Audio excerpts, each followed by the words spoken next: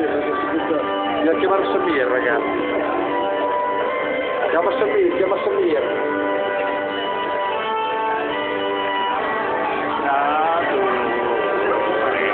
Sono stata là